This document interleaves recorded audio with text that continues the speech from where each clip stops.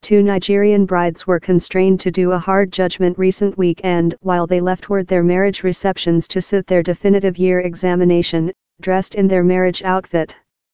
The two definitive year students, who research massive communicating, hurriedly told their IDPR to their grooms up header to an examination room since of a day collision.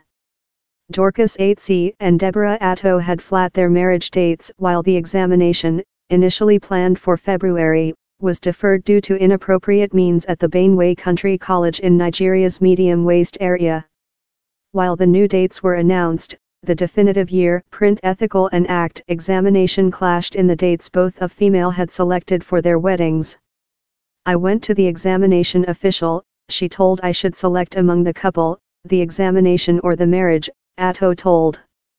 The big day, my marriage was already flat and I already said human beings it was April 7th and shipped out invitations, we solved not to changing the day, Atto told. The schedule, get the conjugal tonsure at the chapel previous in the date, hyphen in the college for the examination at afternoon, hyphen off once again for the marriage admission. They told the examination rotated in an ambience for festivity. I was agitated ending and marriage at the identical period.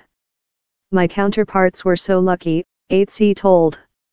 While I walked in the room, for 10 protocol all was fair shouting up we begun the examination and following the examination, I went behind to the admission location since my guests were wait for me. Atto told it was a unforgettable day for her. While the chapel marriage ended by history 11 am, I went to compose the examination. While I got to high school, my counterparts were so agitated. They raised me upwards. It was not departure to be equitable to change the schedule since of one or two persons, and normally he's ever a length trial since you requirement to go via academia planner and the otherwise, he told. College framework is such a how you don't include merciful grants for human beings subjectively.